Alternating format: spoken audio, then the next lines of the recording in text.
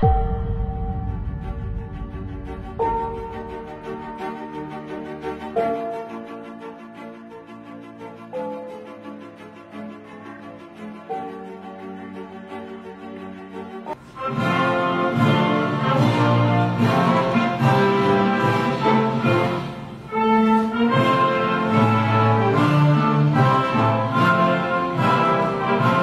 الحقيقة هتكلم يعني بصفتي ليس بصفتي فقط رئيس جامعة إنما بصفتي مواطن من مواطني الداخلية اللي لمست فيه آه، يعني قد إيه ثقة المجتمع المصري وشعب الداخلية والشعب وشعب المحافظات المجاورة في مستشفيات جامعة المنصورة.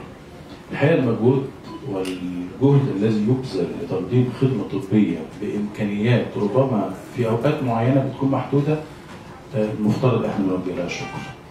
المستشفيات الجامعية اللي بتتميز بها جامعة المنصورة 13 مستشفى متميزين آه، في نقاط مضيئة ونقاط الحياة تستحق التقدير على مدار تاريخ. الحقيقة مركز الأورام من المراكز التي تعتبر من أفضل وأهم المراكز على مستوى جمهوريه مصر العربيه. وأعتقد قرات منذ بضع فترة وجيزه أن هذا المركز مشهود له بالكفاءة وإنه أفضل مركز في تحقيق المبادرة الرئاسية والعديد من المبادرات الرئاسية بشهادة المجلس الأعلى للمستشفيات الجامعية. يعني النهارده أحد الأيام الجميلة من آه، أيام مستشفيات المنصورة الجامعية.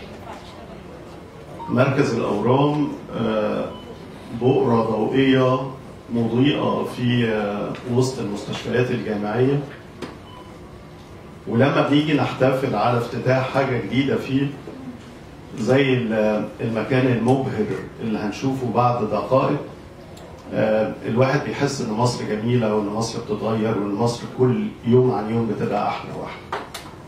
دعم الدكتور شريف للقطاع الطبي غير مسبوق. يعني إحنا يمكن أنا مع الدكتور محمد حجازي من أول 2018 ومع سياده العميد الدكتور أشرف شومة بقى لنا فترة. لم نجد هذا الدعم. من إدارة الجامعة زي الدعم اللي بيناله القطاع الطبي في هذه الاثناء. بداية آه، أنا برحب بيكم جميعا.